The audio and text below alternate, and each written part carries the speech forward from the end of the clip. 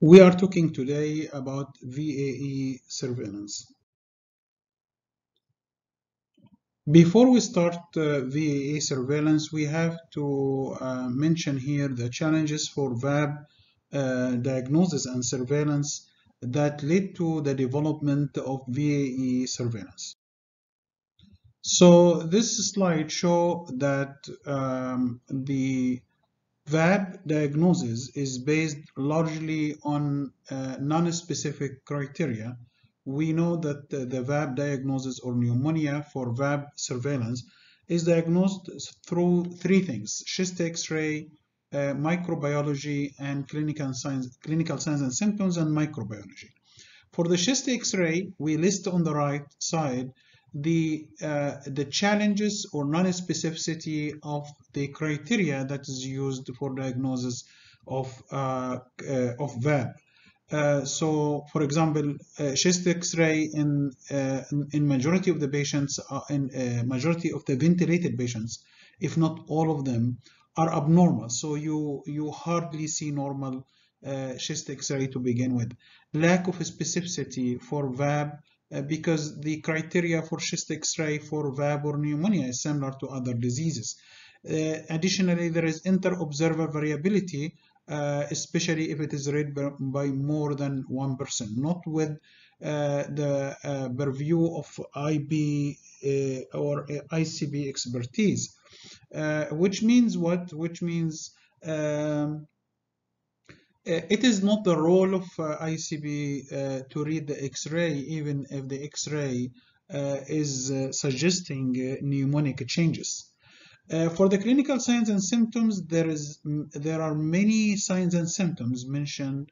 Uh, that there is lack of sensitivity and specificity for each symptom. Uh, some are highly subjective, uh, like increase in productive cough or uh, uh, I mean there is many symptoms that you can say it is there, it's not there, it is increasing, it's decreasing, and all are uh, on a subjective uh, background.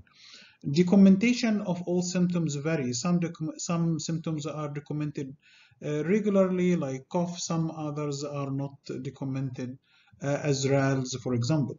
Uh, microbiologic uh, evidence, lack of sensitivity and specificity again uh, for certain tests. practices may vary, especially when using different uh, uh, respiratory specimen. There is controversy about the best practices here. Uh, about uh, detecting, uh, collecting specimens, using what type of specimen, and interpreting the, the results. So there are many challenges for VAB. That's why we need a new, um, uh, like more objective criteria for diagnosing the side effects of ventilator. So uh, we, we uh, for, for that purpose, the VAB criteria is more or less subjective and non-specific. And uh, this is another example of the challenges for VAB that the rate uh, is uh, depending on the practices that is uh, the, the practices that are used by different hospitals and different surveillance bodies, you will get different VAB rate. And the, these are uh, several criteria described by the author that can be used to manipulate the VAB rate, uh, exposing to the public lower VAB rate than uh, reality. So one of these tricks that is strict interpretation of clinical signs and symptoms as well as just radiographic uh, criteria. If you say um, you have to have two ICBs for example, uh, agree on the clinical criteria or just chest x-ray or whatever, or uh, saying that uh, x-ray has to be present on the same uh, institution to take uh, to take it into consideration. Serial X-ray has to show dramatic changes, so you can manipulate the criteria, uh, making it very difficult to meet seeking consensus between multiple ICBs. As we said, uh, you can uh, say that uh, events are not approved unless, for example, approved by two ICBs or approved by ICB and his or her coordinator, and so on. Allowing clinician to veto surveillance uh, determination if the if, if the physician can say no, this is not VAB, and you take with this uh, take that determination. Again, this is one of the criteria that you uh, delete VAB events and produce lower rate. Uh, requiring BAL for diagnosis, so you don't take uh, uh, endotracheal aspirate and BAL usually, and, and, and we know that when you go with lower um, specimen, you get lower VAB rate. Setting quantitative growth threshold for, sorry, for endotracheal aspirate and BAL.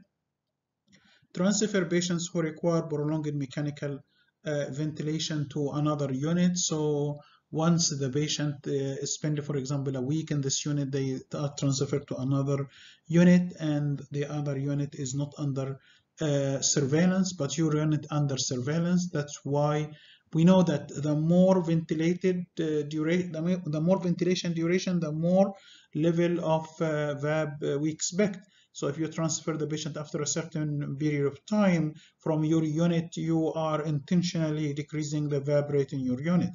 Expanding surveillance to include uncomplicated postoperative patients who have ventilation for very short duration. And in, uh, in a sense, you can use various tricks to reduce the rate. Actually, this is not uh, right rate. It is manipulated uh, rate that looks lower so the comparison become very difficult here and this very nice slide showing you that if you use the endotracheal aspirate you get the higher rate uh, ever uh, uh and, uh, uh, and and there is two endotracheal aspirate one for any growth without using a certain specific cut points like more than 1 million uh, per CFU, uh, CFU per mil. Uh, and, and if you use that, you get lower, Uh, uh, slightly lower uh, VAB. And if you use lower respiratory tract specimen, including BAL, for example, you get a much lower VAB rate. So simply, if you want to go with low VAB rate, you specify that only VAB uh, diagnosed using BAL, for example, will be considered, other specimen will not be considered because it may be contaminated. So once you start to manipulate the way uh, or, or using non-standard way in diagnosis with other hospital, uh, comparison become, become uh, invalid. And this is very nice study also showing uh, the uh, inter-observer uh, disagreement or bias in detecting. Uh, for example, you have here 50 ventilated patients and the number of patients diagnosed with VAB is different uh, from one uh, ICB to the other. For example, the first ICB agreed on 11 patients having VAB out of the 50. The second ICB agreed on 20 VAB out of 50. The third ICB agreed on 15 VAB out of 50 uh, ventilated patients and even the VAB patients that were uh, were determined by different ICBs are not the same patients.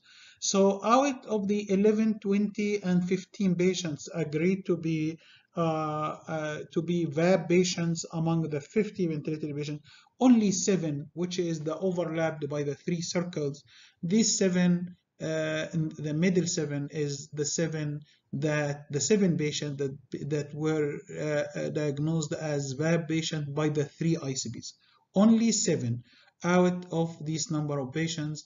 Uh, and as you see, also uh, only three patients uh, are determined to be VAB by the first and second, and three by the second and the third. So basically, there, there is multiple uh, differences here between the way they diagnose VAB uh, by three ICBs. And this would give you how much uh, uh heavy this inter-observer agreement in the VAB uh, surveillance. One issue, one another issue is the complication of mechanical ventilation. So uh, in VAB uh, surveillance, we're looking for one major complication of ventilated uh, ventilation, which is the development of pneumonia, which we name it in this case ventilator-associated pneumonia or VAB.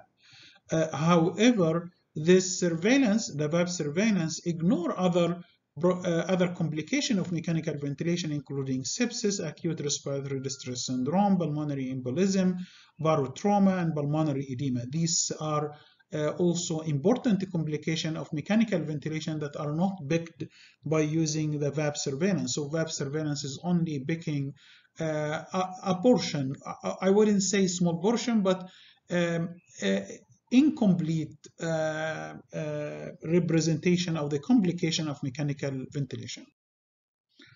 Advantage of using VAE surveillance, which is replacing currently the VAB surveillance, is objectivity. We focus on objectivity, reliability. Objectivity means we we don't have um, uh, subjectivity. We don't have uh, somebody who say that this the symptoms is there and the other say symptom are not there. Reliability means if uh, it is uh, reviewed by another person, they will reach the same conclusion. So reliability means you reach the same conclusion once and once again.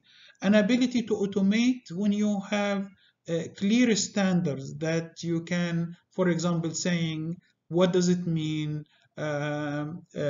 worsening of oxygenation. You give me certain numbers. So uh, in this case, we can create a program to automate the process of surveillance.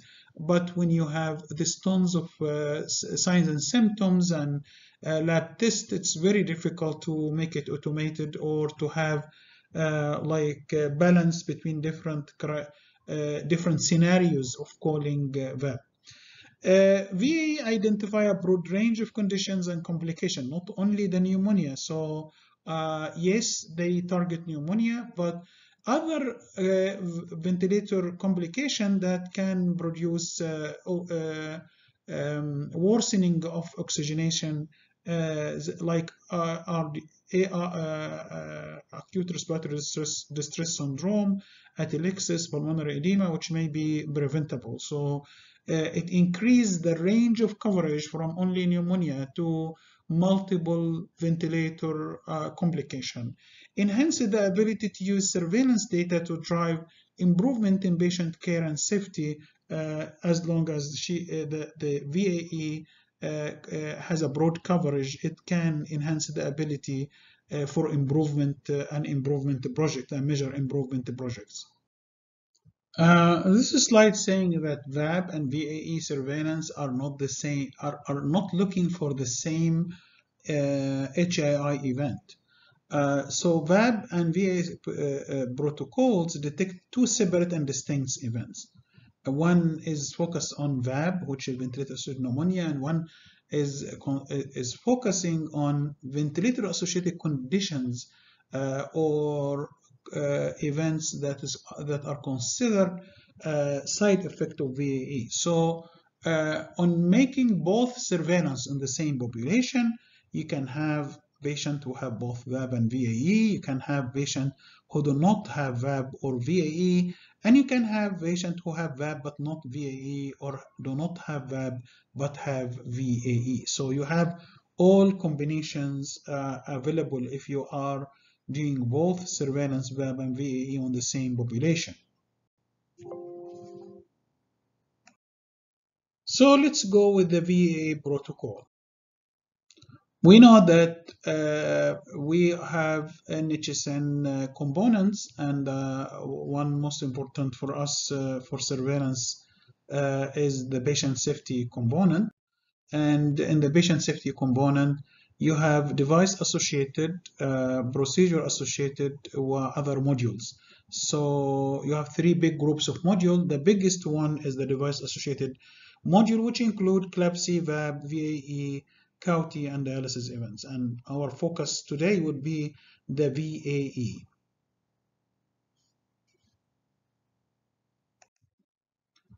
So for the definition of VAE, uh, VAE is diagnosed using a combination of objective criteria. What are the objective criteria we're talking about? Deterioration in respiratory status after a period of stability or improvement on the ventilator, plus evidence of infection or inflammation, plus lab evidence of respiratory infection. And all this in a patient who have ventilator for more than two days and at the date of event, uh, the ventilator is, is still there or just uh, removed on the day of on the date of event or the day before. So we have three levels of VAE. Uh, these are VAC, IVAC, and possible VAB. And, and remember that you cannot have IVAC unless you have VAC, or you cannot have a possible VAB unless you have IVAC. So the bigger circle, the yellow circle is VAC, the orange circle is IVAC, and the uh, brown circle is possible VAB. And uh, believe it or not, this is the expected number of cases. So you probably will see 10 cases of VAC, uh, including four cases of IVAC, including one or two uh, possible VAB. So if we want a quick definition about uh, for each of the three levels or tiers of VAE, uh, VAC after a period of stability or improvement in the ventilator for at least two days, uh, as determined by uh, FiO2 or PEEP value, the patient has worsening of oxygenation, which is defined as uh, at least two days of increasing uh, level of FiO2 by uh, at least 20% uh, or P by at least uh, 3 uh, centimeter of water. For IVAC or infection-related ventilator-associated complication, here you have two things together. Temperature increase or decrease or white blood cell increase or decrease. So either temperature or white blood cell is enough, either increase or decrease of any is enough. Plus, a new antimicrobial agent start and is continued for four calendar days or four uh, qualified uh, antimicrobial days. Possible VAB is positive culture of respiratory specimen or other methods of identifying uh, pathogen. So uh, uh, again, each each of the uh, the the IVAC you have to have VAC first. possible VAB you have to have IVAC first. So so a, a continuous process uh, uh, like levels. VA surveillance has a lot of changes. As you see, it was initiated in 2013 and uh, uh, they have modify, make modification uh, after they're almost on a yearly basis. So even in the in the same year they they initiate VAE, they said uh, remember that 0 to 5 centimeter on B are equal to 5. So this information was added later. and we will not go through the different uh, changes, but I'm, I'm just keeping this slide for you to know that the changes has been continuous in the VA surveillance until you see this version that we have in this lecture. 2014, they have four 15 they have uh, 40 changes 16 they have three changes 17 they have one change. 18 they have several changes 19 they have couple of changes. And one of the changes that are continuous between different versions uh, they uh, the antimicrobial list. They they update the antimicrobial list so they remove antimicrobial that are not used for the treatment of pneumonia because you know uh, the use of antimicrobial could be for different reason, even, even if in, in ventilated patient, not only for pneumonia.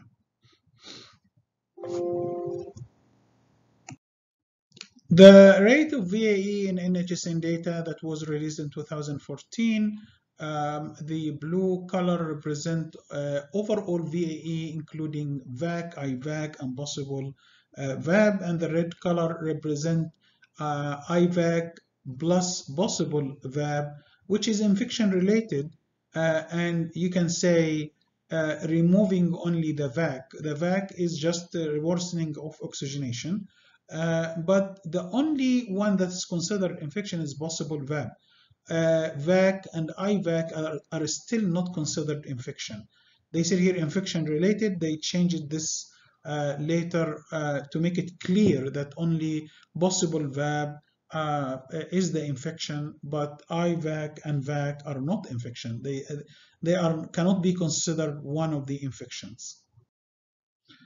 Uh, and VAC rates in INICC countries have been released recently, very recently actually, uh, and it is still higher than reported by NHSN, uh, and there is great variability between different uh, uh, different units. But if we take the average, it's around 11.7, uh, and I guess the similar rate in NHSN is uh, around 7 uh, per 1,000 central line, uh, sorry, ventilator days. This slide uh, is very interesting. It, it presents data from a point prevalence survey done in uh, different hospitals in the US, European countries, and uh, in uh, uh, National Guard hospitals in, in, in, Saudi Arabia. And what you can see from these uh, slides, that pneumonia, either the first or the second, and when it is the second, it's almost the same number as the first. Um, so pneumonia by far in all uh, uh, point prevalence survey is the most common infection in the hospital, HAI infection in the hospital. This is what we see in recent data. This is different from the data that has been released maybe 20 years ago and say the most common is CAUTI and pneumonia and uh, BSI are similarly around 11%.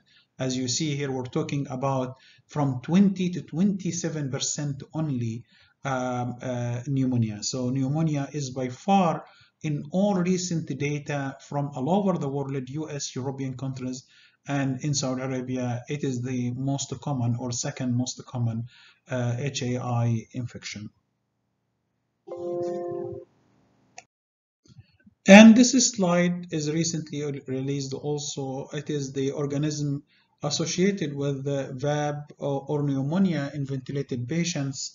Uh, and uh, mainly, as you see in uh, ICUs, it is staph, Pseudomonas, and Klebsiella, and in word very similar, Pseudomonas, staph, and Klebsiella. The surveillance methodology for VAE is active patient-based, prospective, priority-directed or targeted, and yield risk-adjusted rates. And if we go through them very quickly, we say active means we actively looking for VAE events, uh, VAC, IVAC, and uh, possible VAB are not waiting for to for for us to be reported by other party uh, in the ICUs or the ward. It's patient-based because we are not only depending on lab, we're collecting data about oxygenation status from uh, the ventilator reading from the patient, uh, uh, also start of antimicrobials, other lab results. so it's a combination. That's why it's called patient-based because the opposite is lab-based. You only uh, care about the, the detection of organism and respiratory secretions. Uh, prospective means that we are doing VAE surveillance while the patient is in the hospital and uh, again we cannot do this backward uh, or retrospectively. Uh, priority directed or targeted, we are not doing VAE surveillance in every location in the hospital, but only location who serve ventilation services. Uh, and this is usually ICUs. Uh, but if, the, if this is in the ward, fine also. Uh, and one thing that we have uh, to to say here that we are not doing this, this usually continuously but only in uh, for certain duration during the year maybe a quarter or two uh every year uh, and this is called priority directed based on the risk assessment that we do in the year before the start of the year of surveillance the surveillance year. Uh, yield risk adjusted rates, we adjusted, we adjusted the rate here with different adjustment methods, including the, vent, uh, the number of ventilator days, uh, the number of ventilator uh, um, uh, episodes, the ventilator episodes, uh, and we also create rate for different uh, ICUs and ward. So all this stratification is a method of adjusting the rate of VAE, uh, and this also is taken in consideration when we calculate the SIR. Uh, we said that VAE can be done where ventilator uh, ventilator services uh, are served, so it is done inpatient. And here, this slide will tell you that we have now two versions of VAE. We have the general VAE, which is used for adult population, uh, but they don't add the word adult before it. Uh, so VAE stands for VAE for adult population. Uh, but uh, a new version, uh, which is the pediatric VAE, which may have uh, considerable differences from the regular VAE, and this is served only uh, or used only in patients uh, in pediatric and neonatal uh, locations. So it is by location. If the patient, the, if we have adult location like ICU or ward, then you use VAE. If you have pediatric or neonatal uh, uh, location, you use VAE. Sometimes you have mix of patients, like for example, you have uh, adults patients in pediatric population, you use pediatric VAE. If you have pediatric patients in adult location, you use uh, adult VAE or the regular VAE. So this slide uh, is summarizing where you can do the VAB or VAE surveillance. Uh, first of all, um, VA, VAE is replacing VAB. So now VAE is done in all locations. If you have adult location, do VAE. If you have pediatric or neonatal location, you do pediatric VAE. Uh, VAB is still valid for uh, doing in pediatric population, uh, sorry, pediatric locations. So if you have pediatric ICU, you can still do v VAB and VAE. Uh, can I do VAB in other location? Uh, means meaning in adult location and neonatal location? Yes, you can do, but for internal use only because there is no uh, no uh, new, uh, available data for benchmark in the new uh, version uh, or new recent data for benchmark. Uh, so in summary, VAE is done all, all locations. If it is adult location VAE, a pediatric and neonatal pediatric VAE, and you can still do VAB in pediatric location and outside pediatric location is done only for internal use. Ventilator, this is one of the definition, although ventilator is very, uh, very basic information, but still this uh, has uh, undergone some, um, uh, some modification uh, to make it clear what does it mean ventilator for the purpose of VAE and VAB surveillance. It is any device used to support, assist, or control respiration, inclusive of the weaning period, through the application of, and this word is, is new, through the application of positive pressure to the airway when delivered via artificial airway, and specifically oral nasal endotracheal tube or tracheostomy tube. So you need a device to support, help, or control respiration and this device applies positive pressure uh, to the airway and is delivered through artificial airway. An artificial airway means endotracheal tube, either oral or nasal, or tracheostomy tube. So several devices deal with ventilation are, are not considered ventilator because it does not meet this definition. Ventilation and lung expansion devices that deliver positive pressure to the airway via non-invasive means, for example, nasal uh, bronze, uh, nasal mask, full mask, total mask, are not considered ventilator. Why? Because they are not using the artificial airway, as we said, endotracheal tube or tracheostomy. Yes, they control uh, ventilation, they exert positive pressure, but through non-invasive method. Non-invasive method. So there is whole group of ventilation called the non-invasive ventilation. They are not included in VAP surveillance or VAE surveillance. This is example of ventilator used through uh, endotracheal tube, oral uh, endotracheal tube. Uh, artificial way, which are considered ventilator, we said it's oral endotracheal tube or nasal endotracheal tube, and we have photos here. The tube is entered through the mouth or through the nose, and in both ways they go to the trachea. And tracheostomy, they open opening in the neck, in the front of the neck, uh, to uh, uh, under the larynx to enter the trachea, and in this case, it's called the tracheostomy. If the patient has no tube, endo, endotracheal tube, or tracheostomy is not ventilated, uh, is not artificial ventilation or invasive ventilation, that we are concerned in this uh, uh, in this VAE module. Example of non-invasive nasal mask, face mask, uh, helmet, uh, nasal cannula, uh, brong, and so on. Uh, examples also of non-invasive means uh, which are not considered ventilator uh, CPAP and BiPAP airflow and they are different the, the way they are doing this are different in means uh, the pressure exerted is different. The way of applying pressure is different, but both are non-invasive uh, ventilation and are not considered a ventilator. Uh, there are different uh, and complicated mechanical ventilation modes, uh, and these include conventional ventilation modes, or adaptive ventilation modes, and biphasic ventilation modes. Just uh, uh, for your information, if you need more details, you can read the, the details of this slide.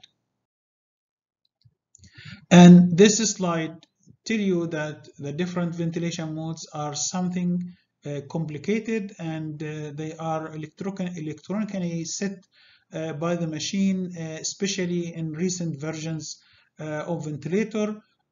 so this slide also, again, this is the second slide uh, for the people who are interested to know the different types of ventilator mode. Uh, why we mention the ventilator modes? Because some ventilator modes are uh, also not uh, considered, uh, not they are considered ventilator, but uh, usually are placed in a, in a, a separate category. So who are not eligible for VAE surveillance? Patients who have been ventilated less than three days uh, are uh, not eligible uh, because because of the um, definition of VAC, as we will say now. So um, um, patients uh, has to be on ventilator for more than two days. Patients in non-acute care setting, in, uh, in non-acute care locations, in non-acute care in acute care setting, which means they are in chronic care units, for example, are not eligible because VAE surveillance is done for acute care setting and acute care uh, locations. Uh, patient on high frequency ventilation, extra corporeal uh, life support ECMO and paracorporeal membrane oxygenation are not eligible for VAE surveillance during the time they are receiving those therapies they are not eligible but if they remove the, these therapies and use the regular ventilation uh, then they are eligible. So eligible patients uh, uh in, in uh, non-eligible patients are listed in this. This slide describes uh, a population that are still eligible for VAE surveillance because they receive conventional mode of mechanical ventilation in addition to prone uh, positioning, nitric oxide therapy, helium oxygen mixture, and epoprostenol therapy. Uh, whatever uh, one, whatever uh, issue in these four categories, as long as they still receive conventional mode of mechanical ventilation, they are still eligible for VAE surveillance. Uh, again, still eligible for VAE surveillance, patients on airway pressure release ventilation. And again, this is a different mode of uh, ventilation. That's why we gave you these two slides for different modes of ventilation. Uh, it's a mode of mechanical ventilation characterized by continuous application of positive airway pressure with an intermittent pressure release phase.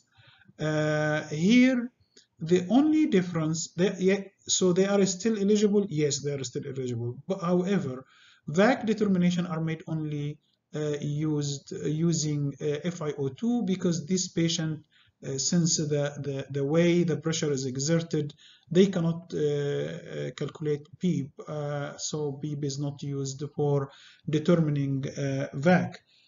so these are a group of patients who receive a special way, a special mode of ventilation that is still eligible, but when you determine VAC, you should use only FiO2, not PEEP.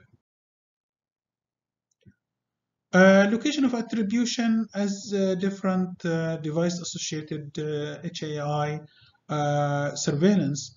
Uh, VAE is attributed to the inpatient location where the patient is uh, present during the date of event.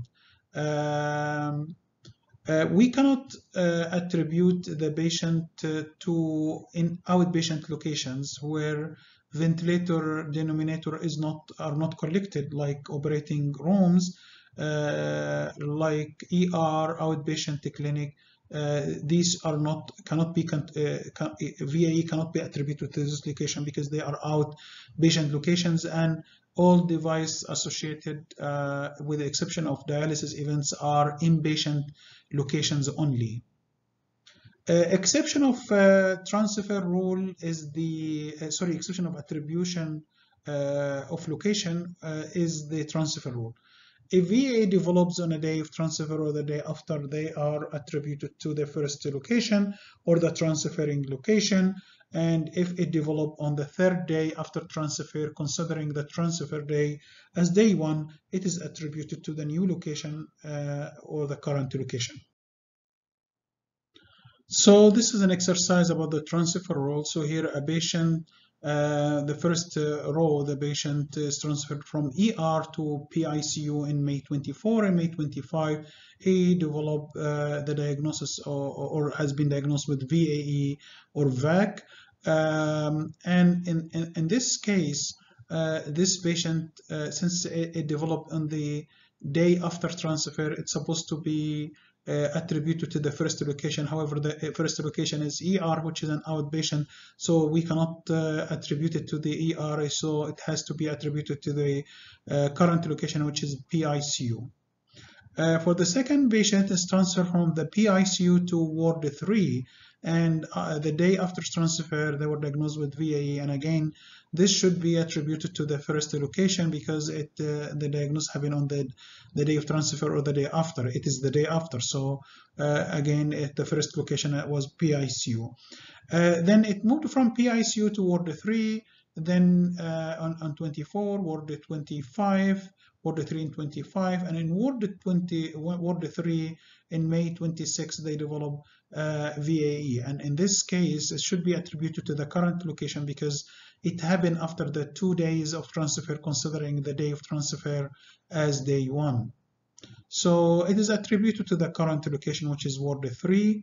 And uh, the last example, it moved from Ward 3 to home in 24. They get it in 25, VAE diagnosis. And as you see here, um, we cannot attribute it to whom, of course, uh, even though uh, it was diagnosed on the day after transfer, so we have to attribute it to ward 3.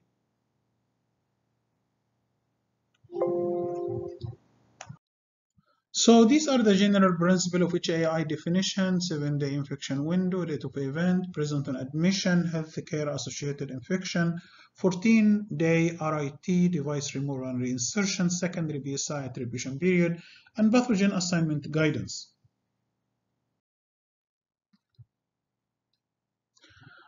These are not applicable in, in VAE surveillance. Uh, they included only a few of them with uh, specific changes. So these are the specific principle of VAE definition or modification. Some of them are modified completely and some of them the same, uh, especially device removal and reinsertion, for example. Uh, so uh, these are the specific principles of VAE definition, including infection window, date of event, repeated time, repeated infection time frame, device removal reinsertion, and secondary BSI attribution period. You will see the differences between uh, the current version in VAE and the previous version that we learn in CLABSI, VAB, uh, CAUTI. For the infection window, instead of the seven days that we know about, uh, that what we used to know about uh, device associated, especially uh, CLABSI, VAB, CAUTI, we have here uh, five days. Uh, and these five days, maximum five days, let's say that maximum five days.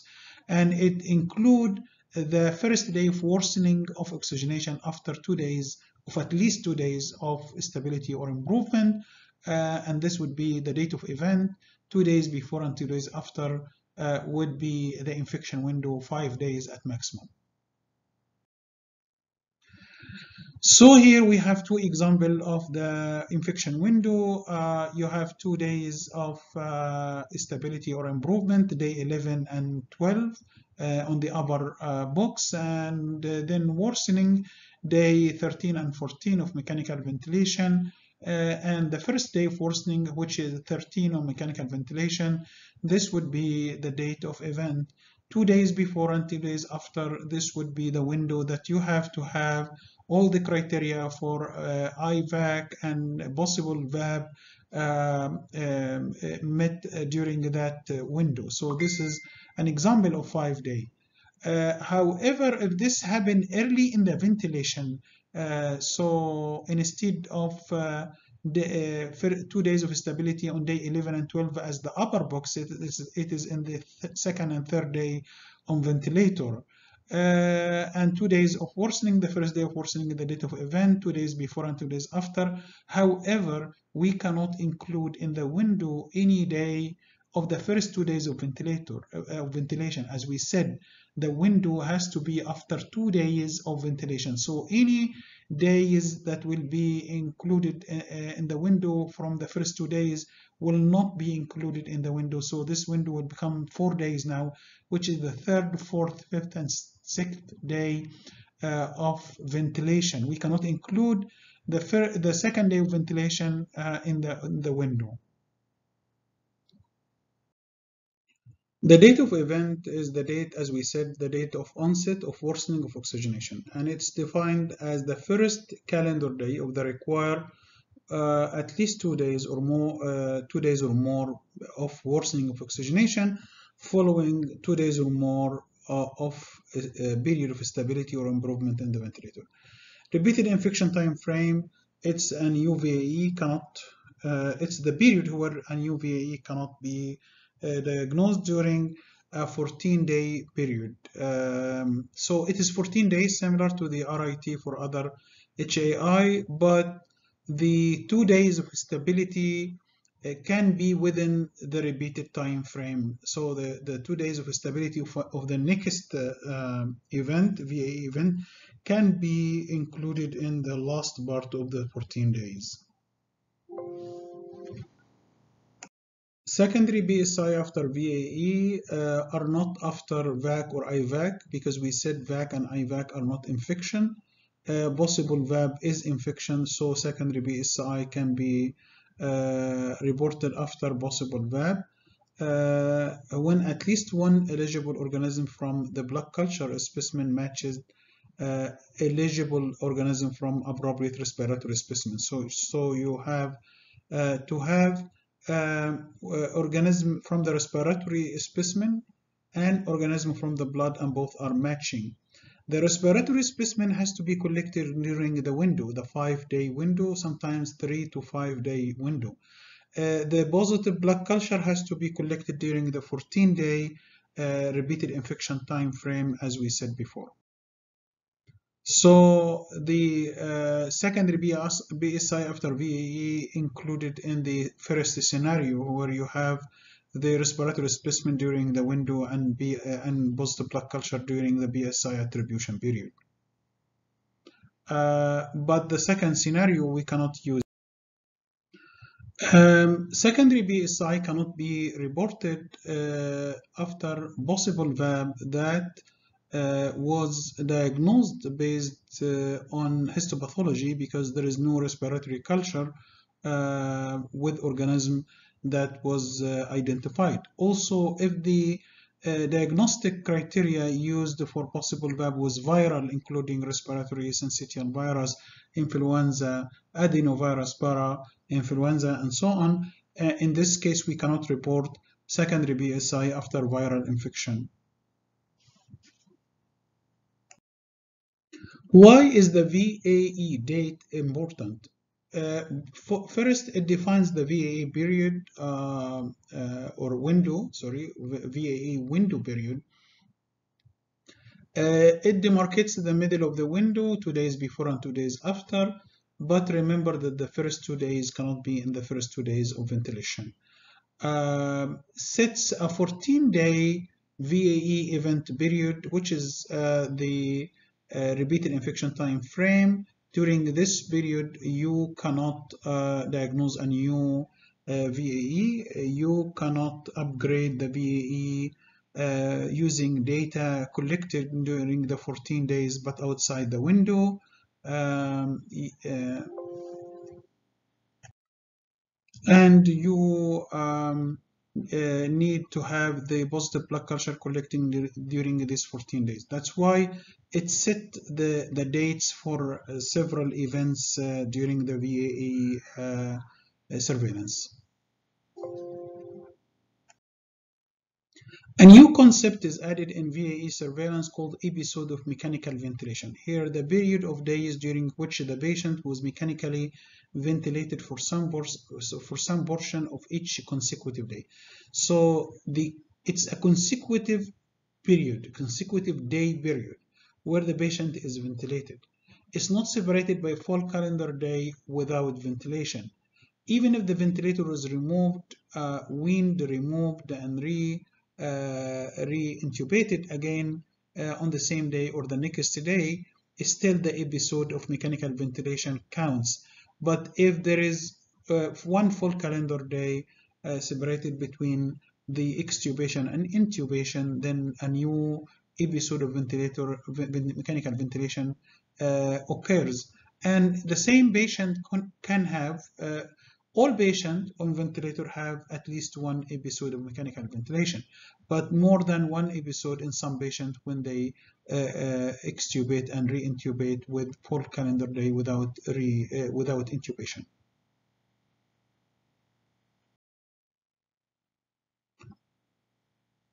So here uh, you continue the same episode because they extubated uh, on uh, the day the the uh, extubated then intubated in the next day. But in this example, there is full calendar day without mechanical ventilation, so these separate two uh, episodes of mechanical ventilation. And the importance of this, uh, as you see, we need to count two days of stability or improvement of oxygenation and two days of worsening of oxygenation. You cannot uh, uh count this uh, across two mechanical uh, ventilation episodes. You have to be in the same episode to count these two days and two days. Um, in this example, as you see, uh, there is two days of stability or improvement and two days of worsening, and the patient was extubated uh, on the second day from, uh, of stability and intubated in the first day of worsening.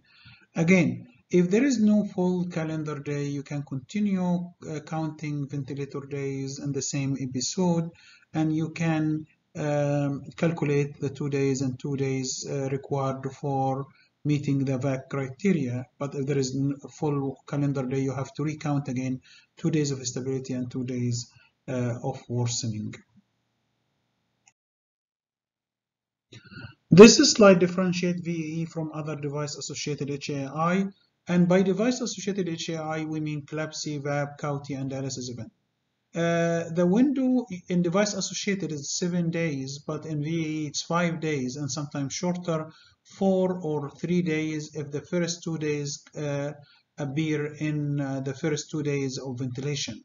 Uh, diagnostic test uh, it depends on the uh, the the device associated. It's, positive blood culture in CLABSI, X-ray in VAB, and urine culture in uh, uh, in CAUTI. Uh, but VAE, uh, there is no diagnostic test. It's only oxygenation status worsening after stability. Date of event is the first element to meet the criteria in device associated, but it's the first day of worsening of oxygenation and VAE. Repeat time infection, uh, repeated infection, repeat infection time frame is 14 days after VA, after CLABSI, CAUTI, and VAB, and 21 days roll uh, after dialysis event to count another another dialysis event. Uh, and in the VA, it's 14 days uh, before you can diagnose another one. And remember that the stability of the next one can be present within the 14 days uh, but the uh, the date of event cannot be within the 14 days. And remember the date of event is the worsening the first day of worsening of oxygenation device removal and reinsertion recount after at least one day of device uh, here uh, recount uh, it is similar but this would differentiate, the difference is this would differentiate the uh, two ventilator episodes and you cannot uh, split the counting of two days stability and two days worsening between two episodes. It had to be in the same episode of ventilation. Uh, secondary BSI attribution is 14 to 17 days after UTI and uh, VAB, but there is no secondary BSI after primary CLABSI. Uh, and uh, VAE is 14 days. Uh, in VAE, it's 14 days following possible VAB, but there is no secondary BSI after VAC or IVAC because they are not considered infection. So explaining the oxygenation issue, uh, oxygen requirement, we have two parameters to use for oxygen requirement, the fraction of inspired oxygen or FiO2 and positive end expiratory pressure or PEEP. And for the FiO2, it's simply the pressure of oxygen, of oxygen and in the normal air it is 21%. Uh, in the ventilated air it's uh, much higher than the room uh, oxygen, which uh, uh, usually sit at 50% or something like that. But very rarely it become 100% because uh, it can make uh, oxygen toxicity.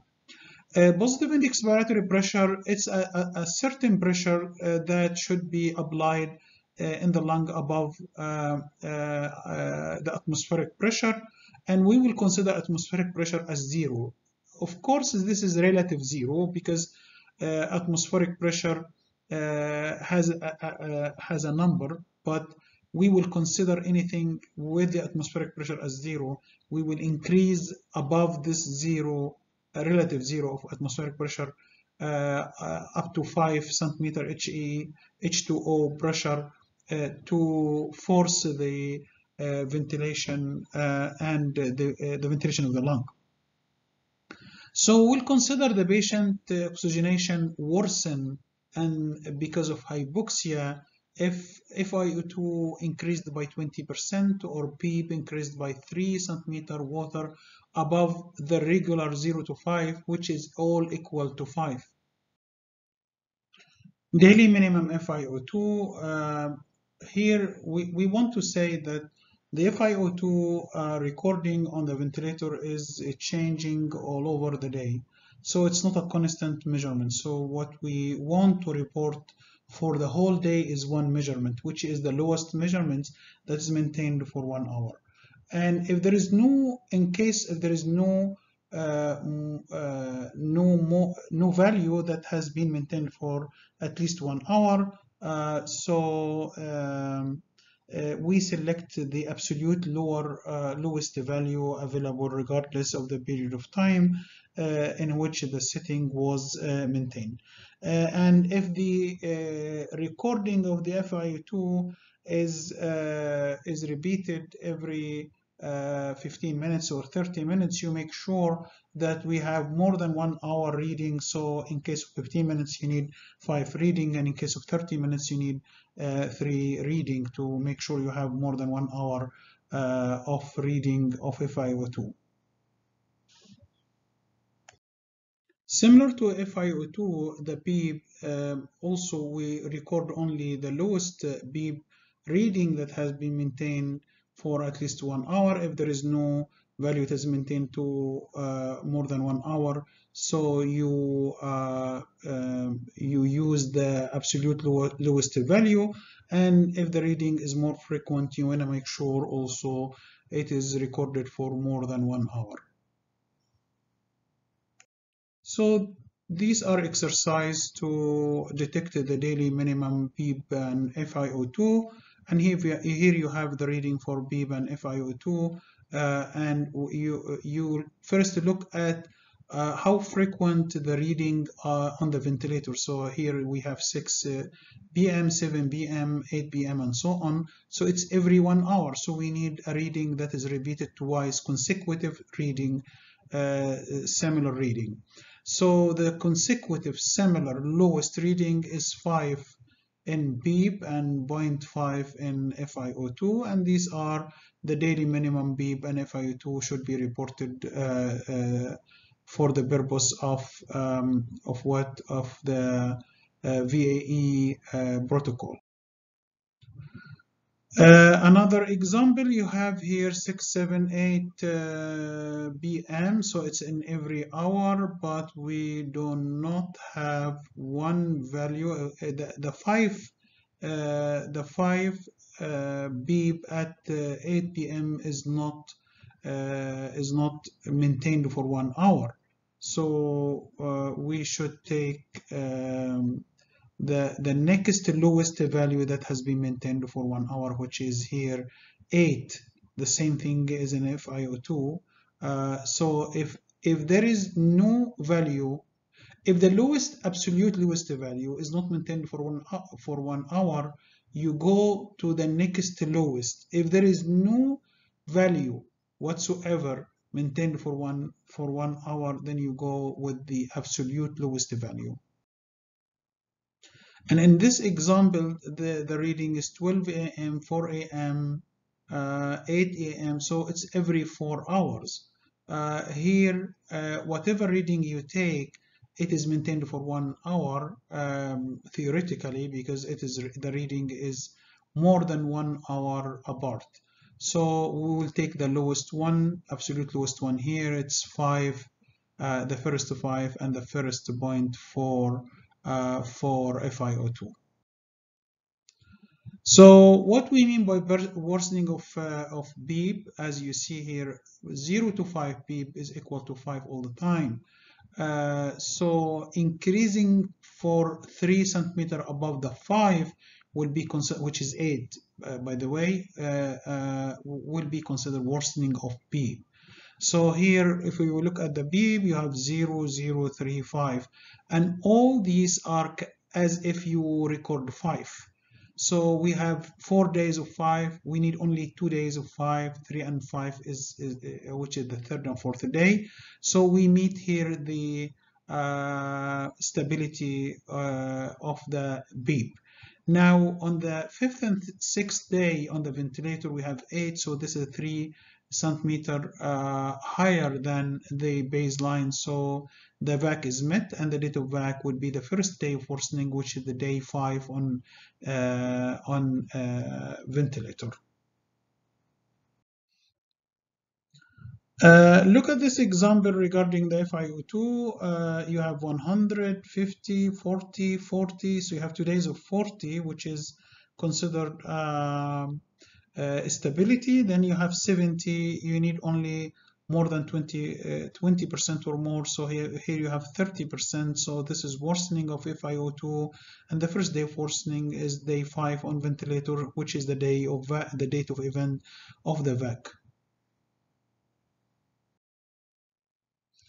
Uh, here uh, if you see the previous example but only the only change instead on the third day on ventilator uh, 40 it become 35 so here 35 40 there is some slight increase. And what we looking for in the baseline is either stability or improvement. Improvement means decrease of the number. But here increase of the number means slight worsening. So the the the basic requirement for stability is not there. So although there is 40 30 percent higher uh, or increase on the fifth day that is maintained for two days uh, this is not meeting the the uh, VAE uh, VAC criteria uh, because uh, there is no stability. Here there is minor worsening so this is uh, giving you the summary of the time frame for VAE. Patient must be mechanically ventilated for more than two days to be eligible to uh, for VAE surveillance. And the earliest day on which VAE criteria can be met is day four because you need two days of stability and two days of worsening. So you need four days on the ventilator before you can decide this is VAE or not. And the earliest date of event is day three and again, this cannot be diagnosed except retrospectively. You should have two days of worsening, and the first day of these two days would be the date of event. So the date of event is always diagnosed retrospectively. For VA definition, uh, we, as we said, you have a patient on ventilator for more than two days, and you have baseline uh, period uh, for at least two days of stability or improvement means the number of FiO2 and PEEP or BEEP are either stable or decreasing, followed by sustained period of worsening of oxygenation, which means that the FiO2 and PEEP are increasing. Uh, so in this case, you diagnose VAC. If you have signs of inflammation, uh, so the, the first part is oxygenation only and is diagnosed by FiO2 or PEEP.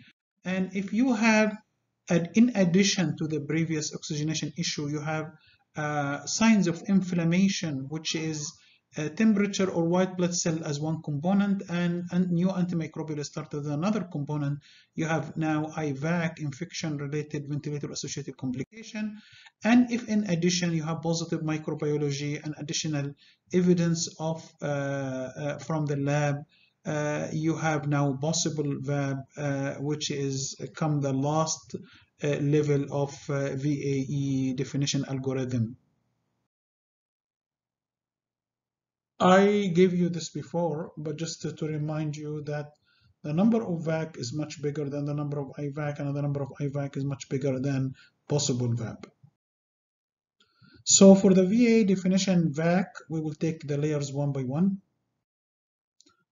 So here you have uh, a person uh, on ventilator for more than two days and uh, he has at least two days of stability or improvement and two days of worsening uh, of FiO2 or PEEP and remember that FiO2 uh, uh, worsening means at least increase of FiO2 by 20% and the worsening of PEEP is at least 3 centimeter above the baseline which is considered 5.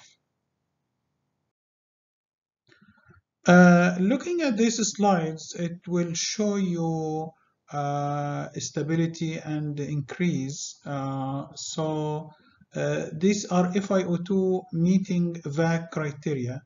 Uh, if you look at the first two days in the four, four graphs, it is stable or decreasing. So 50, 50, 50, or 60, 50. So decreasing means improving.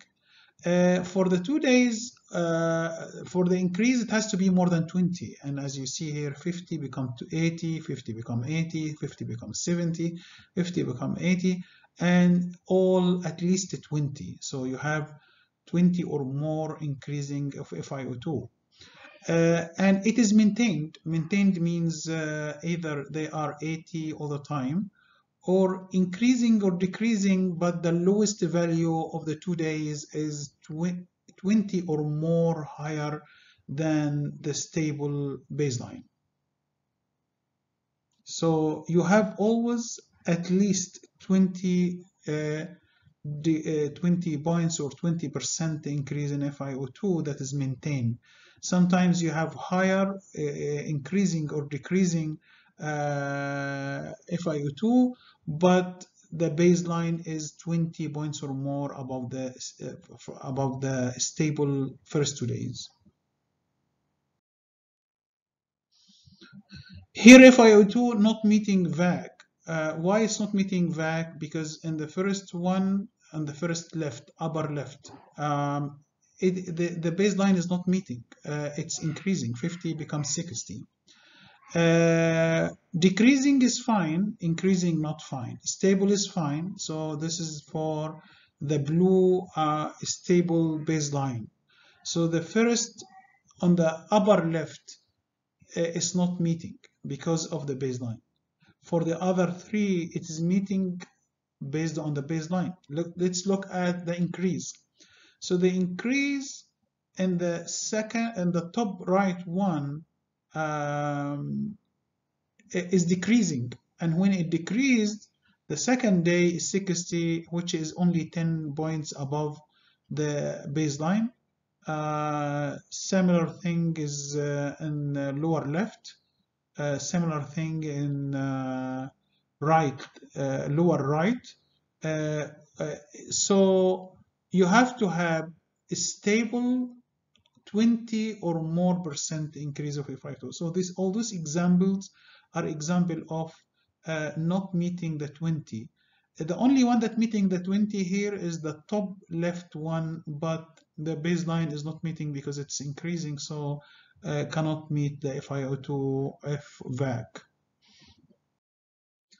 Uh, similar thing for uh, for uh, PEEP, and as you see here, we have to have three uh, above uh, the five, so you have to have eight. So the only acceptable, the, the lowest acceptable increase is 8. Uh, and any number before in the baseline period between 0 and 5 would be considered uh, 5. So here, uh, all of them have at least 3 centimeter met, met uh, although sometimes the two uh, days of worsening have either stable numbers like 8 or decreasing number 9 become 8 or increasing number 8 become 9 but on all of them the minimum uh, increase is 3 centimeters above 5 these are for example of not meeting the PEEP uh, uh, criteria for uh, VAC uh, the reason for that is uh, because the 3 centimeter are not maintained. Uh, uh, for in, in, in the first uh, in the top left one it's only one centimeter that was maintained and the other three two centimeters were maintained. Although one day has three centimeters but we have to have the two days in uh, the lower uh, two uh, either having increasing or decreasing values but the baseline there was no three centimeter maintained during the two days so are, these are not meeting the PEEP criteria for VAC.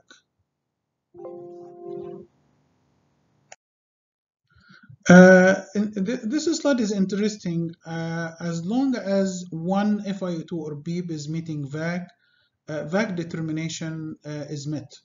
Uh, so uh, we we making a trick for you here in this case uh, for, for example, sometimes FiO2, most of the time FiO2 or PEEP increase together or decrease together, but sometimes, as in the lower part of the of this slide, uh, the FiO2 is increasing and the PEEP is decreasing over the days. Again, once met met by one of them, you don't have to meet the criteria for FiO2 and PEEP. Either one is enough.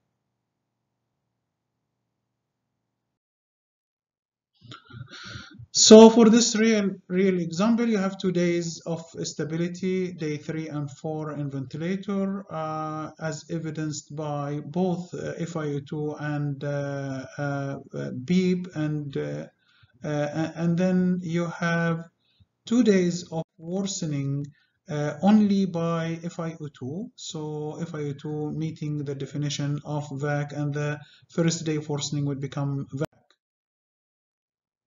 An example two, you have uh, two days of stability because you may say it's not five, it's not three, it is three and five. As I said, any number between uh, zero and five, zero, one, two, three, four, five would be considered five. So three and five is meeting. 50 and 50 for, for, for FiO2 is meeting also. Uh, now for the two days of worsening, we have the PEEP increased by 3 centimeters and maintained, but we do not have the FiO2 increased. So uh, uh, it is meeting through the PEEP and that's enough to call for VAC and the first day of worsening would become the date of event. Here, uh, as we said uh, before, the FiO2 uh, was increasing during the baseline, so is not meeting the criteria of uh, uh, stable or or improved uh, baseline. So this is not meeting the VAC criteria.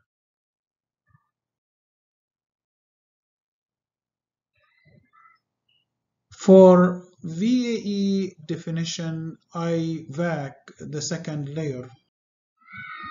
So here you have uh, uh, two things. Uh, the first one, you have uh, uh, signs of inflammation, either temperature high or low, or white blood cell, white blood cell high or low.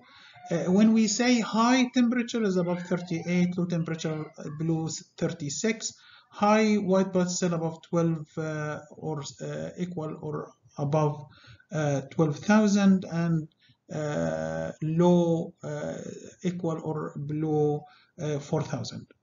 So one of them is enough to meet the criteria. Then the second condition, you have to have a new antimicrobial start that is continued for four qualified antimicrobial days. And when we say qualified antimicrobial days, it is day in which the patient was administered an antimicrobial agent that was determined to be new during the window. So it has to be new during the window. And we will have example for that. When we say abnormal temperature or white uh, blood cell, uh, it should be searched only after the VAC is met. So you don't look for the signs of IVAC unless VAC is met. And these signs, it has to be in the window. Abnormal temperature or white blood cell count documented during the VA window period should be used in determining the, whether the patient may meet IVAC definition regardless of whether an abnormal temperature or white blood cell count was also present when admission or outside the VAE window. We have to look for this at the window. And again, the window become three to five days based on uh, the time of ventilation. So it's if, if it is in the first two days, it becomes shorter than five days. It is if if it is in the uh, outside the two ventilation days, it becomes solid five days. The first day, the first day of worsening become the date of event two days before and two days after. And you have to look for the temperature here, the antimicrobial start here, and uh, document for respiratory for lab evidence of pneumonia here also. When we say new antimicrobial start, any agent limited on or after the third calendar day of mechanical ventilation. Again, it has to be in the window and we said that the first two days of ventilation is not part of the window. And within the window, you have to have agent that is considered started or new and it has been maintained for at least four days and new agent must be administered intravenous, intramuscular, or via, digestive system uh, or respiratory tract. There is no requirement that the same antimicrobial agent is given on the four qualifying antimicrobial days. So it may be one agent or multiple agent. The continuation of the agent after the window is taken in consideration, but uh, it has to be started within the window. Started Uh, uh, when we say started within the window, uh, this means that it wasn't given in the first two days before the window, the, the, the, the two days before the window. So the requirement for the four consecutive qualified antimicrobial days can be met within with four days of therapy with the same antimicrobial agent, even if there is a gap of no more than one calendar day in between or four days of therapy with multiple, not single antimicrobial agent as long as each antimicrobial was started within the window. It may be continued after the window, but it started within the window. If the patient expired prior to the fourth day of administration of qualified antimicrobial days, the parameter of IVAC is not met. No need to look for the reason for administration of antimicrobial. Was it because of prophylaxis, de-escalation, switch to another agent? Uh, we don't care about the reason why the antimicrobial use. Uh, they have been updating the list of antimicrobial use to make sure this antimicrobial represent um, antimicrobial that are used in, for treating pneumonia. Included antimicrobial agents, antibacterials, antifungals, and limited antiviral. Excluded antimicrobial, which are excluded from the list in different uh, uh, updates, anti-HIV, anti-TB, agents used to treat viral hepatitis, antiparasites, agents used to treat herpes, uh, agents unlikely to be used in treating a lower respiratory tract infection in a critically ill patients. Uh, these are the list of antimicrobial allowed to be uh, uh eligible to be uh, to give you four qualified antimicrobial days that is started in the window and may be continued outside the window. Uh, we will not go through them, but just uh, for your reference, these are the list of antimicrobial agents eligible for VAE uh, surveillance for IVAC. This is the list of antimicrobial uh, list for VAE surveillance and here on the blue box, you will see the antimicrobial that are unlikely to be used uh, for uh, treating lower respiratory infection in critically ill patients like oral cephalosporins, or penicillins, erythromycin, chloramphenicol, and, and, many other drugs that are not usually used for acute care uh, setting in critically ill patients for treating lower respiratory tract infection. So these are examples of new antimicrobial start. When you see this shaded area, this is the window. And as you see here, cephalospore, uh, ceftriaxone was used before the window, so we cannot consider uh, the use of ceftriaxone here uh, in the first example as new start. It's not new start. The, the, the, the one that's considered new start, start is meropenem, and it is the same antimicrobial have been used for four days, three in the window and one outside the window. So these meet the four qualified uh, antimicrobial days. In the second example, you have ceftriaxone, uh, meropenem, uh, piperacillin tazobactam, uh, so we can consider meropenem, piperacillin, tazobactam as new start because both started during the window. We cannot consider ceftriaxone as new start because it was used in the two days before the window. So here the four uh, qualified antimicrobial days were met using two antimicrobial meropenem for two days and piperacillin tazobactam for another two days.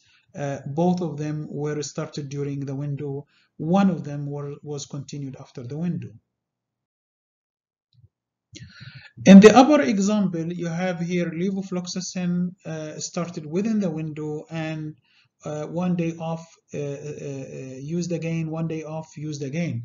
So these are actually five uh, qualified antimicrobial days. You may say, but it's only three doses or three uses. we, can, we, we tell you that if there is one day gap during the use of one single antimicrobial, it is allowed because these uh, calculated based on the kidney function uh, and the excretion of the, uh, the, the antimicrobial. In the lower example, they have vancomycin for uh, started during the window, so it is uh, it's the new start. Then two days without vancomycin and then vancomycin. So although vancomycin was started within the window and, and we cannot consider this as more than two days of use because the, the, the gap here is more than one day. We allow gap of one day before different uses, but not two days. If two days, then there is no continuity here and only use two days, which is not sufficient to meet the criteria for IVAC, which is at least four uh, consecutive, four, uh, four qualified antimicrobial days. Uh, for the last year possible VAB, possible VAB or the last year requirement, you have to have first VAC and IVAC met. You cannot look for the lab criteria unless you meet meeting VAC and IVAC. Uh, lab test collection dates must occur on or after calendar day 3 because again it has to happen in the window and we cannot include in the window the first two days of ventilation. Organism exclusion must be considered. Normal respiratory flora, mixed flora, mixed respiratory flora, oral flora or equivalent are not eligible for the diagnosis of VAB. Candida species or yeast not otherwise specified coagulase negative staph aureus and enterococci unless isolated from the lung tissue or pleura are not eligible organism and this uh, in, in, in VAB uh, surveillance and VAE surveillance, community associated respiratory infection uh, pathogens which have very long incubation period are very rare uh, causes uh, of infection inside the hospital and if it happens most likely they are coming from the community. So possible VAB criteria, one of three criteria. The criteria one is positive culture meeting a specific, specific quantitative or semi-quantitative threshold. If you don't have this, you should have purulent respiratory secretion and a positive culture not meeting the criteria one, which not meeting quantitative or semi-quantitative threshold. Criteria three is positive pleural uh, fluid culture, positive lung histopathology, positive diagnostic test for Legionella or selected respiratory virus. So the criteria three is uh, rare uh, uh, lab finding for the lung that that are considered pathognomonic for lower respiratory infection or pneumonia. So the criteria uh, meeting uh, the possible VAB are summarized in this uh, uh in this uh, slide, and you can go through and read the rest of uh, the rest of the information. So we set in criteria one, you have positive culture of one of the following meeting the threshold. The threshold here would be different according to the type of specimen. The specimen are arranged here from upper respiratory to lower respiratory. So what, uh, as you see, the upper respiratory, you give them a higher number. The lower respiratory, you allow for lower number. Endotracheal aspirate, the threshold is 100,000 CFU per mil. Bronchoalveolar lavage, 10,000. Lung tissue, 10,000. Protected specimen brush is 1,000 only. So we accepted the threshold in this way, or if there is other signs that meet this threshold. For example, if they say uh, 4 plus means 100,000, it's fine. So we accept the 4 plus. Uh, additionally, they recently added the word moderate or heavy. So moderate or heavy, we will consider it as meeting the threshold, uh, the, the threshold number as you see in this slide. For criteria two, since it's not meeting the threshold that we said either quantitative by numbers, uh, 10,000, uh, 100,000 or 1,000 as we say, uh, according to the type of specimen or pluses or heavy or moderate. So it's not meeting this. Uh, they said there is organism, but they don't give you a threshold or give you a threshold lower than the threshold, uh, give you a number less, less than the threshold. In this case, you need additionally purulent respiratory uh, secretions plus one of these organisms. And uh, look at here, they allow in second criteria sputum. So organism detected in the sputum plus purulent respiratory secretion are allowed for second criteria for possible VAB. And the organism may be identified through yes or no. So for example, Klebsiella, but they not, they not give you any amount of, uh, uh, of culture or quantitative, semi-quantitative culture, but it's not meeting the threshold. So a question here, is this bile culture report acceptable? It said normal flora with many pseudomonas and moderate candida. So remember that the word many or heavy is equivalent to semi-quantitative culture uh, of criteria 1. So since pseudomonas uh, is said many, so it's meeting criteria 1 and uh, uh, moderate candida species uh, are not meeting this criteria uh, and when you have one meeting and one not meeting uh, still the one meeting is enough to meet uh, the criteria for possible VAB. So can I use a positive culture during the window even if it was previously reported? The answer is yes. Why? Because uh, uh, it doesn't matter if the patient had the same organism before the window or not, as long as the uh, pathogen is detected during the window and it's eligible pathogen and uh, happen in the window, you should use it uh, towards the criteria of possible VAB. When we say purulent respiratory secretion, it is defined as secretion from the lung, bronchi, or trachea that contain more than 25 neutrophils and less than 10 squamous cell epithelial cells per low power field using the uh, uh, microscope. So it means more neutrophil, less squamous cell. This is virulence.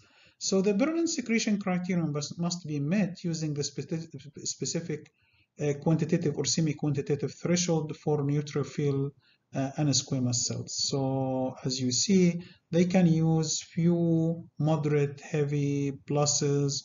All these are acceptable as long as it meet the criteria that we define in the first sentence, more than 25 neutrophil and less than uh, 10 squamous cells. The third criteria for possible VAB, it is one of the following. Organism identified from pleural fluid, you know, pleural fluid should be inert fluid. So having the organism from the pleural fluid is, is okay. Uh, during thoracocentesis, thesis or within 24 hours of chest tube placement. Uh, lung histopathology uh, showing signs of uh, pneumonia, abscess information, and evidence of lung parenchyma invasion.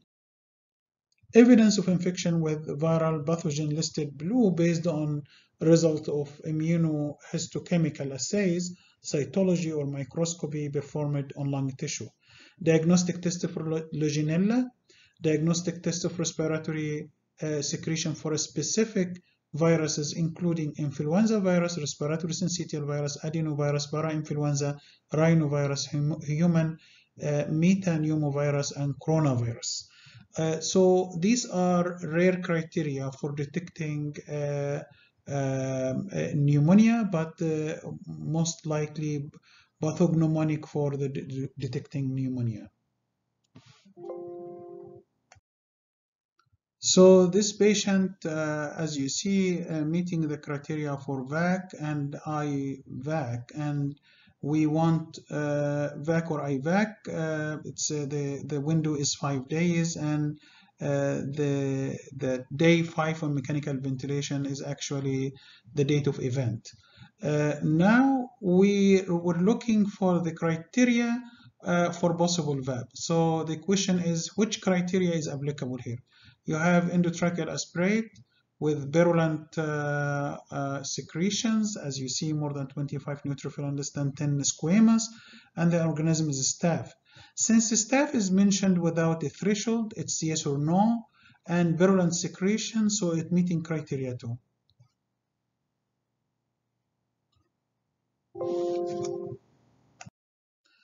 Uh, in this example, you have endotracheal aspirate and staph uh, present to, uh, uh, to the threshold, which is uh, the threshold for endotracheal aspirate, which is 100,000. So in this case, it's meeting the threshold criteria one.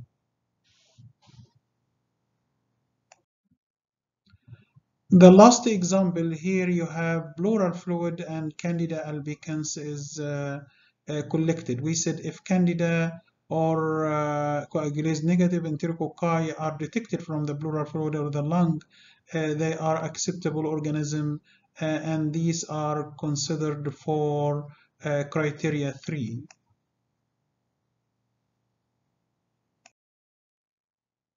Uh, for VA reporting, we have a hierarchy here. So if you have the lower uh, and higher definition met, you use the higher definition. So if VAC is met, you report VAC. If VAC and IVAC is met, you report uh, IVAC. If uh, all are met, you report only possible VAC because it is the highest.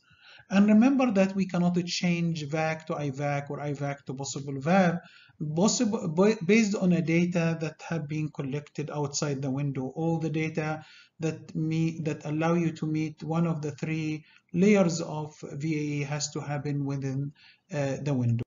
So for this patient uh, um, it has the criteria for VAC, IVAC, and uh, they meet the definition for possible VAB uh, criteria two endotracheal aspirate staph plus purulent secretion, but this was met during uh, outside the window. The, during the window, there was no uh, microbiologic evidence uh, for pneumonia. So this will not be upgraded to possible VAB and IVAC is only recorded because it is uh, what, what was present during the window.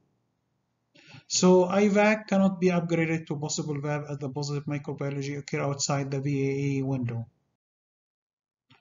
As we said, excluding excluded organism uh, that cannot be used to meet possible VAP are non-specific uh, definitions like normal flora, normal oral flora, mixed flora, mixed oral flora, respiratory flora, and so on.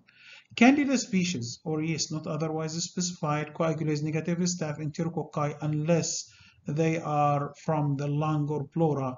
Why, uh, why this exception? Uh, because lung and pleura supposed to be very uh, clean tissue. Having one of these organisms uh, does not mean it is contaminated, it means a real infection. As we said before, also the excluded organism include community-associated respiratory infections, which are caused by, uh, which are not known cause for HAI, and if detected in the hospital, it's, it's very rarely detected in the hospital, and if it's detected, and if it's detected in the hospital, usually it is caught from the community because it has a long incubation period. Are we doing post-discharge uh, surveillance for VAE? Uh, it's not required to monitor VAE after discharge from uh, the unit of surveillance uh, or the hospital. However, VA discovered within two calendar days of discharge, uh, where the day of discharge is day one should be reported, no additional ventilator days are reported. So basically, we don't do post-discharge surveillance after any device associated, but if we get informed about the events, we should include it without any additional denominator outside the unit. So this is a VAE example. You have patient who has been uh, on ventilator from January 1 to January 9 and you have PEEP reading and FiO2 reading and this reading are the minimum uh, maintained for at least one hour. Uh, and as you see, they have uh, two days of stability. It's 40, 40, uh, and 5, 5, uh, PEEP 5, 5, and, uh, and FiO2 40, 40. Then on the next two days, January 5 and 6, they have the PEEP increased by 3 centimeters and maintained.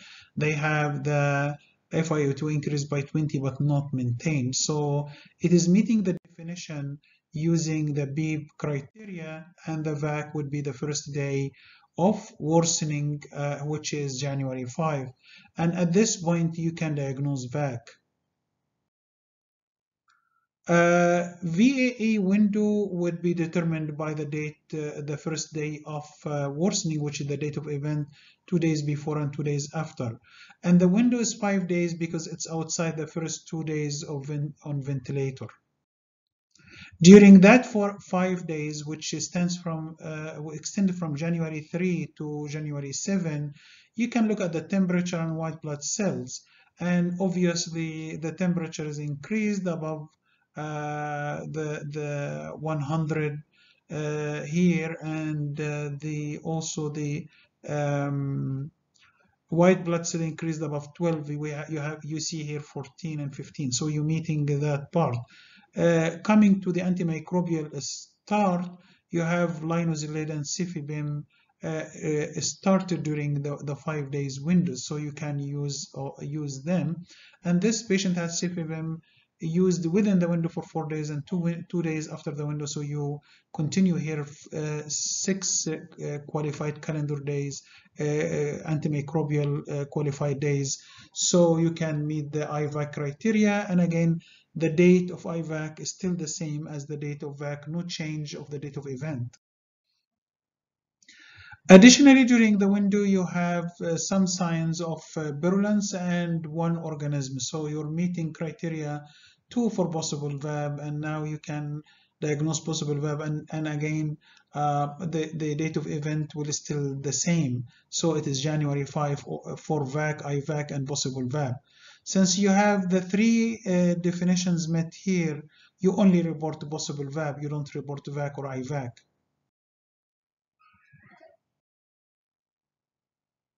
VAE data. So this is the form that we collect information about VAE. Um, it is very similar to uh, VAP, but uh, we ask uh, questions related to the event. Uh, we ask questions related to the uh, event, uh, including VAE diagnosis and the criteria used, uh, the, the, the layer VAC, IVAC, possible uh, ventilator, uh, possible VAP, and the criteria used as well. This form is very nice for daily listing of the information of that you can diagnose VAC, IVAC, and possible VAP because it include the, the, the date, the calendar date, the date of mechanical ventilation, uh, minimum minimum daily uh, reading for PEEP and FiO2 temperature and white blood cells and antimicrobial use to meet the IVAC criteria as well as purulence uh, organism and threshold uh, to meet the possible VAP criteria and, uh, and so th so this uh, form is very nice to use before filling the VAE form. The denominator form here, uh, we have we have the number of patients, the number of patients on ventilator, and also the number of episodes. For the number of episodes, um, every patient at the beginning of the month will be considered episode. So we will add only when a new episode is uh, is added after the first day of the month, uh, and and this uh, either new admission a new intubation for the patient or a second or third intubation, for example, that are separated by one more than one or more calendar day without uh, intubation. Uh, so the number of episodes, it represented the sum of number of episodes of mechanical ventilation that occurred in the location during this month. So a single episode of mechanical ventilation for each patient to be counted in the first day of the month. And after that, any additional insertion, uh, intubation, new intubation will be added as new episode, episode and um, replacement uh, that is separated by one full calendar day is considered a new episode as well. Um, this would include those who are admitted to the location already on mechanical ventilation and those who are newly ventilated uh, uh, uh, and any previously ventilated patient who have new episodes of mechanical ventilation occurring during the same month. For the VA, uh, VAE analysis, uh, for uh, VAE rate, you can uh, you divide the ventilator uh, uh, VAE events uh, over the denominator. The denominator could be ventilator days times 1000 or episodes of mechanical ventilation times 100. Remember that the denominator episodes of mechanical ventilation is an optional, and in both case the VAE rate per, per 1000 ventilator days or 100 episodes uh, are, can be stratified by the type of adult ICU. For the ventilator utilization ratio, it is similar to the VAP, so it is ventilator days over patient days. And again, you can do this, stratify this based on the adult ICUs. A VAE SIR observed over expected and the, the observed is the one that you detected during the surveillance expected are the ones that you can calculate from the benchmark. Uh, please look at the lecture for uh, SIR and uh, uh, above one means you have VAE rate above uh, the benchmark uh, one means equal less than one means you have VAE rate less than the benchmark. You can do this also for specific uh, uh, infections if you want, like uh, all VAE together overall, which was reported in 2014 data, and IVAC plus possible VAP, which was also reported in the 2014 report we will show you later. Uh, ventilator SUR, which is standardized utilization ratio, observed ventilator days over expected ventilator days. The observed that uh, the denominator that you collect during the um, surveillance, the expected you get from the benchmark, and this is the way of how you calculate it. And remember, the interpretation is the same. This is the report uh, for the 2014 NHSN data about the VAE uh, rates. Uh, it showed the uh, VAE uh, as a total for all units and if you take the medical surgical uh, unit you will see that the bold mean is 7.8 so uh, the NHSN rate is around uh, 7.8 or 8 VAE events per 1,000 ventilator days. And this uh, this is the rate for different units. Uh, the blue color represent the overall VAE, and the red color represent the uh, the total minus the VAC, which means IVAC plus uh, possible VAC. Uh, this is the uh, percentage of infection-related VAE, VAC, IVAC, possible VAP to all VAE. So you you expected that uh, uh IVAC plus possible VAP represent between 30, uh, around 30 or to 40 percent of all VAE. Thanks a lot.